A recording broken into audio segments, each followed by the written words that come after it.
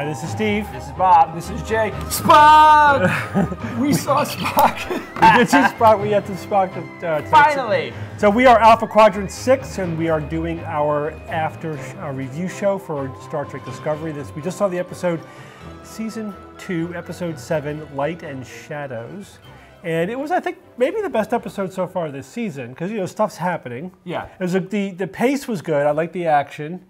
Uh, and as we said, we finally get to see Spock. So no more no more Yeah. head fakes or teases this this week. I felt like this week it was win, lose, or draw. Like they, Yeah. they, they had to show Spock this week.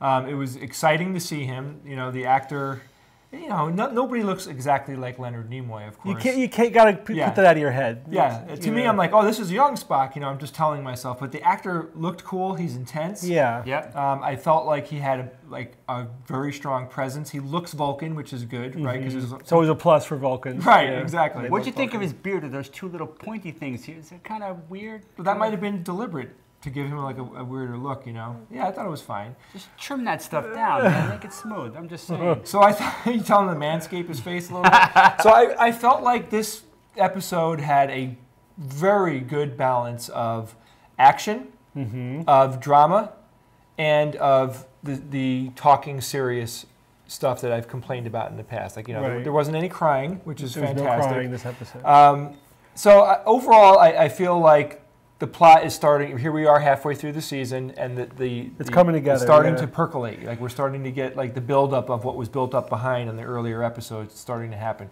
I loved the interaction between uh, uh, Pike and uh, Tyler. Yeah, that's actually pretty good. yeah, both good characters. I've always thought that Tyler's a decent character. But they're you know they're both kind of butting heads a little Right. bit, which is weird. You know, because think like Tyler, it's weird. Like all Yeah, you but know, he's Section 31 now, right? Yeah, that's it, And though. he's So sort he of was- he's throwing his badge around there. It's like, yeah, Yeah. you got to do what I tell you. And Pike's like, yeah, not so fast. you The can't seat- beat the, the chair. seat, the chair overrules you. yeah, I like that. The chair beats the badge. Again, uh, uh, with Pike being a great captain, he keeps his cool. Mm-hmm. He immediately is going to do, you know, very, very much competency important with him. He Yeah, but there's still do. the Star Trek thing of there. Someone's got to go in a shuttle on a very dangerous mission, so the captain goes. and who cares if he's the most qualified? You can't send the captain away on the most dangerous Right. mission. And let's talk about that. Here's a temporal anomaly Yeah. that just shows up. Let's get a shuttle and get really close so we can launch a probe into it. But this is Why not just launch a damn probe from the I know, but ship? this is They couldn't TV, for some guys. It's. TV. They, they didn't, but that's it. They didn't give us a real good reason. Give us a reason, then I'll go along with it. But, Yeah, you- but to come just on. put the, the two very valuable people. it's in always the danger. valuable people. We were watching a uh, Star Trek, the original series cartoon before the show, Yeah, right? Blast from the past, And like every, Oh it was it was McCoy, Oh, yeah. Spock, Captain Kirk, and Bones. Oh yeah. no, Yeah. and um, Scotty. Yeah. arguably some of the most important people on the Enterprise. They're the away team, They're the away team. I mean, but, but Picard never would have done that. it occurred to me when we were watching the cartoon because I hadn't seen one in a very long time. But it occurred to me, but those are the people that you kind of need to send because they can problem solve better than anybody yeah, else. that's true. That's a good point. Right. So uh, you know, Captain wanted to do it because it was this ridiculously difficult. Yeah, difficult. but wouldn't you think though you would have people whose job it is to do the dangerous away teams? Probably. Right? You're saying. Yeah, like- sure, it's- sure. And that's not the exact same skill set as being the freaking captain, right? Yeah. Being the captain, that's the, the skill set should be keeping you in the chair, not in a shuttle doing something technical that you should have someone who's that's who's their job. But right? but don't forget that this is a TV show, and, and we need to see the characters. You know, it's not like they're going to bring in this guy that you don't Why know. not? Like, I think they should develop that character who's the guy that gets sent into the most dangerous missions all the time because that's his job. That would be a great character. Well, I don't know because like let's. And we know, like, and maybe every season, like the guy gets killed and he's replaced by somebody else Yeah, every okay, season. so he's like a red- whatever, he's a red at shirt. random. Looks like we need a new Timmy. yeah, I mean, I guess if you compare it to, to modern day special ops, those special ops guys that they send in are certainly not, not the generals. right? Yeah, that that How does about this? that does make sense. How about sending a freaking robot? I was thinking about Star Trek today, and I'm like, you know, where the hell are the robots? sure, you got androids, you got A- Airiam, who's awesome on, on Discovery, Mm-hmm. she, but she's a cyborg. Where's the robots? Think about it. They're just why not just throw one CG one in the background because it's a robot and we're in the 23rd Right. century. Bob, arguably, It doesn't fit the vibe. I don't Star care. Trek. It's a, free, it's a future. Bob, we need we're obsessed with robots. We have to accept that Star Trek hasn't fully embraced robots, right? It's, it's just one of the things. But listen, They guys, even guys, like in the original this- series. They, they like AI was an anomaly. You know. It's Yeah. like, that computer's acting like it's thinking. Yeah. I must, I must talk it into destroying itself. but guys, come on, this was this was a great episode. I, I didn't agree. It's fun. n- not once, other than like, hey, it's not cool that the captain's going on such a dangerous mission. I thought that too. So you but weren't pulled but out. You weren't the pulled out. entire episode, I was not pulled No, out. you're into it, yeah. I thought every character had great motivation. I loved, you know, Spock's parents handled that situation really cool. That was a cool thing that was going on It was there. so Vulcan. That was that was Yeah, cool. it was done very well. Like I, I love both of the people that are playing the parents. They're they're they're Yeah. perfect in the roles.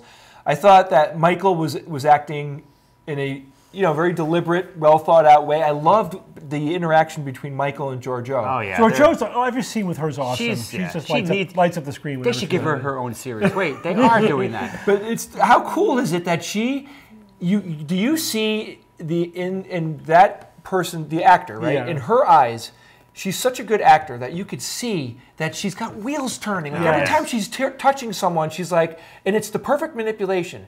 I'm going to give you something that you need that you is that legitimately you want and need but it's going to serve my ends Yeah. deliciously and she and she And you she know it. acts it she acts it like you can just tell, like, hey, you got to get Spock off of here. And you're like, whoa, don't wait a second. I know it's Spock, but she's got something under her sleeve, up her sleeve, man. Be careful. Then she goes to the captain and she dumps her her blackmail on the oh captain. Oh, my God. It was mm. brilliant. It was like, wow, she is Not the, outclassing not the emperor for nothing, I right? know, I she mean, Oh, my outclass, God. she's outclassing everybody. and she should. I mean, it, it would be. It would not make sense if she didn't. If she literally comes from an entire universe where that that's the skill set, and she was the best. That's yeah, was some, the best. some nasty selective pressure in Yeah. that mirror universe, man. And she's the apex No, but this is, this is the the art of writing great stories. We Yeah. have a fantastic backstory with Georgiou. Like she's dangerous. We don't know what she wants. We don't know what she's up to. We Mm-hmm. just know that she's doing things out of self-interest, right? We know it. Even if she Yeah. ever, even if she softens at some point, she's going to have all these things spun up Sure. that she's doing. And for her to go to Michael at a very serious moment when they're going to mind screw Spock, or so she says, right? Because we're not sure, but it seemed like it. And she suspected it. You know, Michael was being careful because she didn't want them to do something bad to Spock. Um, you know, she just is manipulating them like putty in her hands. Now, we wouldn't. It wouldn't have been as impressive if we didn't see multiple episodes of her. If as we the didn't know her whole backstory. Exactly. right, Yeah. right. So it's Right. you know season one is paying off right now, big time in this episode. I really appreciated that, and plus you know they bring Spock on, and, and it was very smart of them to bring Spock on compromised. Yeah, No, 'cause I don't know if I agree with that because um, this is Spock, and we, the first time we see him, he's kind of gibbering and he's out of his mind and emotional. Like, okay, I don't really want to see Spock that way. I want to see Spock. So I'm, all I'm saying is that okay, this is fine, but he better be have his wits. They better not drag that out I want to see. Spock. I don't want to see this. I agree. I was gonna, we only sort of met Spock Oh, this barely. episode because he wasn't himself. But I also understand from the, the showrunners that this is Spock ten years before the original series, Yeah. and he hasn't fully got his you know He's not fully balance yet, and he's so he's more. This is a more emotional, less put together version of Spock. That's that's that's deliberate. Yeah, Bob, come on, it's, It's Spock, Spock. ten years ago. No, it's not. It's Spock ten years ago. It's So what? it- He was still a logical Vulcan. You, He and was, you and can't he- go by the menagerie where he touches those flowers and he smiles I know, because, it was because a they didn't. They didn't know. They didn't have Spock dialed in. No, on- in Spock that, would- that was him. That's canon. But the Spock, women. Spock yeah, yeah, yelling weird stuff. I know it's canon, but it's so weird. But the thing is, I kind of took this whole thing. See if this makes you feel better. Yeah. I hope I'm right. I kind of took it like Spock went into a deep, you know, meditation to figure out this puzzle that's going on. Yeah. Like Spock delivered that information to Michael, right? And he even did it backwards for some reason. I don't know what, what's going on with him, but I just thought. Okay, I have to say that's just a dumb myth about um, dyslexia. No, he says he has Vulcan dyslexia, whatever. That or he's he, hit, he, has, Oh, okay. he got it from Reading the human dys- yeah. side.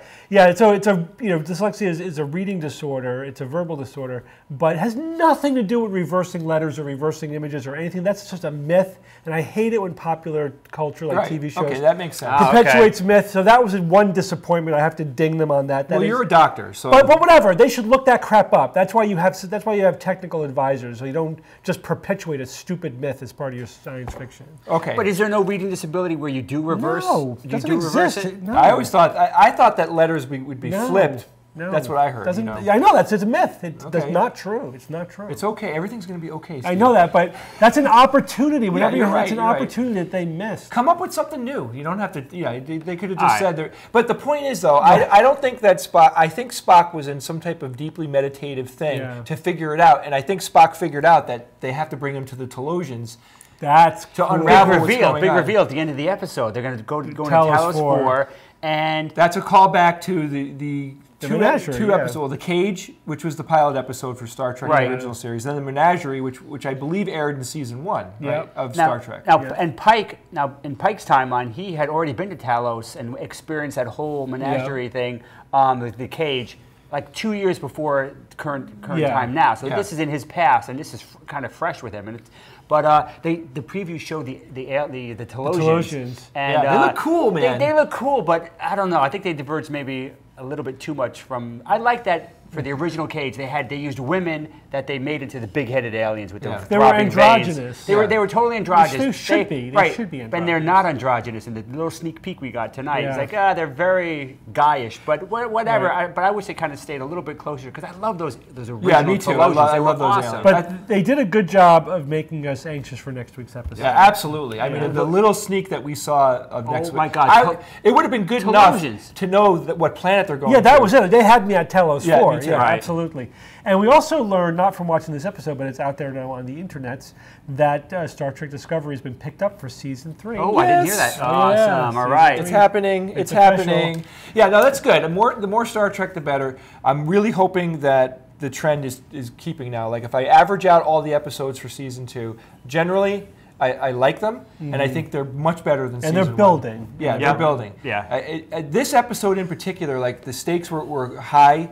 You know, they weren't saving the universe. That's great because I'm Yeah. tired of that. They're on their missions. Well, they kind of don't are know. saving the universe ultimately. this We red. don't know if that's the big mission with the Red Angel. Yeah, we don't know All right, yet, okay. but I mean, still, in this, But not this in this episode, right. you know, Right. there was two, there was two plot lines going Yeah. on. They were both not really interacting with each other, but affect each other. Yeah. And I just felt that the intensity was there that it needs to be. The, the, char- the character writing was great. The dialogue was great. They, Yeah. they bounced around a lot. Like I got to see a lot of the bridge crew and people doing things on the bridge, which is always Oh, fun. Oh yeah, and we know that the, the robot that you like, Bob, is compromised. Just going to say, Yeah. Airiam finally Airiam. some really good close-ups of, Yeah. of her makeup, which is wonderful. And yeah, so she's going to have, you know, she's going to be more, she's going to be more that than just seed, yeah, a couple of words here She's and got there. a, she's got a bad wiring or something now. Well, she's, she's she was compromised by the probe. yeah, she's in, she's infected. yeah. She's And got what a was the probe? virus. That probe looked just like the Hunter Seekers from uh, the Matrix. Matrix. Yeah. No, they were they weren't hunter Similar, seekers. similar. They- yeah, yeah, with the with the, uh, Yeah, the octopus, octopus arms. tendrils. They were that was really cool. So this probe was like set into the temporal anomaly, and it went 500 years in the future, and somebody upgraded it. Yeah. and, And sent sent it it back to kill us, yeah. To and uh, that thing, I, w- I was hoping they saved some of that tech because come, come on. Did you see years. that little fingers were coming out of the? Yes. Yeah. yeah, that Yeah, was yeah. scary. That Yeah, yeah. that's not cool. That was a bad bad mojo Yeah. going on there, boy. Um, I liked how they they uh, foreshadow Pike shooting Tyler. Yeah. And you're like, what's he gonna do? Tyler, Tyler's got something up his Yeah, sleeve, right? yeah. Totally bought the whole thing, and then when they revealed it, that's that's smart writing. shoot- yeah, he was shooting the, the appendage. not That's Tyler. where when you see a when you see a, a peek into the future, you can't trust what you see. That's right. That's what I take away from That's that. That's a good rule. And then Stamets, Stamets is like freakishly powerful. Like we, there's things about him, like you know, Yeah, man, he could Yeah. see through you know. You could see temporal four dimensionally, and yeah. yeah. You got to we got to update our. our And he had the best line of the episode: "Trust the math." Yeah, Come on, that like was that. awesome. Yeah, and there was also good character development between, between him and Tilly. Like they've had great character development. Yeah. They really care mm-hmm. about each other. Like they love each other. You know, they're they're Yeah. and they have a lot of respect for each other. And he was telling Tilly like, it, it, it, "You're the one that I chose to operate the machine." Yeah. Like you know, Yeah, don't beam me into space. yeah. So overall, I, I give this, you know, this episode was great. I mean, if the rest of the season can keep up that, If it keeps this up, it'll Yeah, I think a it's going to get fantastic. better. I think it's going to get even better because now it's, stuff's going to really be coming to a head. And next week, Talosians. Talos Four, my God. yeah. What, I mean, Can't wait. That's a good choice. I That's going to be nuts. I mean, you know, if you know, the, if you've seen those two Star Trek: The Original Series episodes or the pilot, and, And we just watched them recently by coincidence. Yeah. Yeah. um, you know, it's a it's a weird situation they're walking into. I mean, you know, they, they Pike is not on the planet right now, No. right? That that happens to Pike at the end of his life. Where, where the, the Yeah. Talosians like will Right. give him a, a, good, a good experience for the rest of his life, even though he was like burned from head to toe. But the point is, like, they're gonna have to go back down and say, "Hey, we need your help." Remember me two years Remember us? Yeah, remember that I'm weird back. We stuff need that you- happened. We need your mind mojo to read this Vulcan's head. Yeah. Uh, I can't wait. I can't wait to see what happens. And it's also a death sentence to walk on that planet. Remember? If anyone Yeah. finds out. If anyone finds out, like that's like not jail. Like they kill you. Yeah. Well, you know, Michael, though, I mean, how many laws does she have to break, right? It's like Yeah. her, Yeah, I that's mean, her she's- thing Yeah. now, The? Prime Directive, the Prime Schmerective, you know what I mean? Yeah. Um, and also, though, like, don't forget, Pike is on an incredibly important mission, right? He's got leeway, and Section 31 is in play. Like, you know, they've got to bend the rules. Oh, absolutely. This is like the, get stuff the done, fate yeah. of or, like life in the universe. You know, Yeah. is really at stake. Apparently. We'll see. Okay, well, we will be here next week watching episode eight, and uh, we'll be here for the after show. I hope you join us. Yeah, now you can go to alphaquadrant6.com. That's alphaquadrant, the number 6.com, to go to our website, which will link you to everything else that we do. But you know, we're on Facebook and you know, we're on Patreon. You can go to those two places if you like as well. But please check out the website and contact us and tell us other things that you'd like us to do. Like, hey, I want to see Alita Battle Angel. Can you give us a review on that? Which we should have done last week. We'll do that. Yeah, but we, we're gonna we will very happily go see every science fiction movie that comes out and do a, a fast review. But give us your su- suggestions, and we got to see Spock tonight. We did. Yeah. There it is. See you next time.